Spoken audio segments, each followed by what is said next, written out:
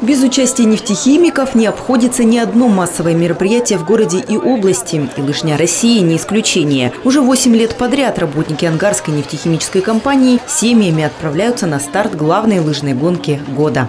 Хорошие эмоции. Наша первая цель, конечно, это не победить на лыжне России, а принять участие, чтобы независимо, спортсмен ты, не спортсмен, чтобы ты принял участие в этих соревнованиях, э, проверил себя и дошел до финиша.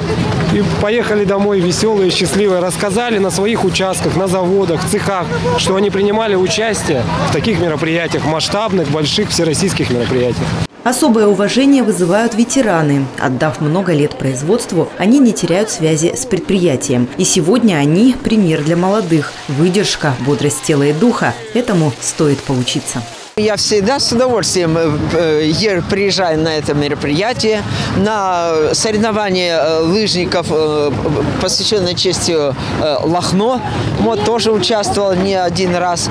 Поэтому мне нравятся вообще лыжи, нравится обстановка. Получаю, я же говорю, я просто кайф от этого получаю. Для работников и ветеранов АНХК «Лыжня Россия» – это одно из многочисленных мероприятий. В феврале запланировано еще несколько соревнований. Большой и сплоченный коллектив ангарских нефтехимиков обязательно примет в них активное участие.